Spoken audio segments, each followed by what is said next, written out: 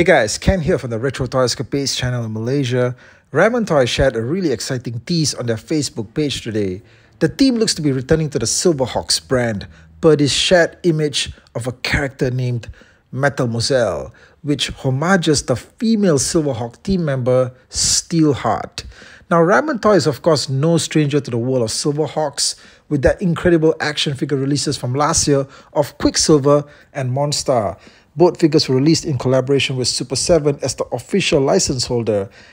And both of these guys were the first ever modern day updates of Silverhawks figures in over 30 years since the original Kenner days.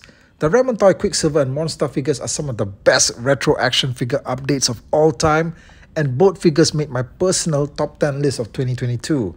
But Silverhawks has also enjoyed a resurgence in recent months with the Ultimates releases from Super 7, which take an animation accurate approach to the look of the characters and are also absolutely breathtaking in their approach.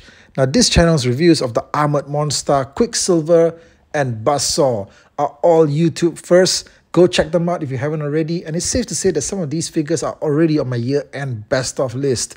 Super 7 also put out an Ultimates version of Steelheart as part of Wave 1, and hobby stores locally in Malaysia have only recently started to bring the figure in. The Super 7 version is of course excellent, but Ramen Toy looks set to deliver something all new with this version of the character. Unlike the earlier releases, it seems like this one will not be an official release, hence the alternate character name of Metalmoiselle. The figure is also stated to be released under the Titanium Titan series line. I don't have much information at present on what the series is all about, but it's possible that we will be seeing various retro-themed pop culture characters from across different franchises all united under one banner. Now, will Metalmoiselle, aka Ramen Steelheart, come with metallic paint finishing? I think it's safe to say that based on what we've seen with their Monstar and Quicksilver releases, that's a definite. Now, as I mentioned, we can expect Ramen Toy's take on Metalmoiselle to go beyond the basic animation design of Steelheart.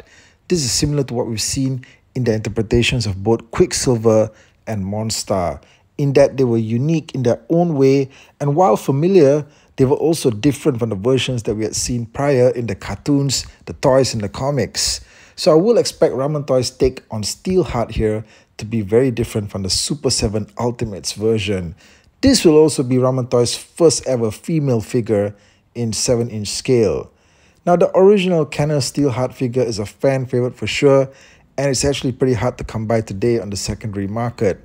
Actually, almost all of the Silverhawks are. But looking back at the figure today, I would say that, man, it was definitely in need of a major upgrade.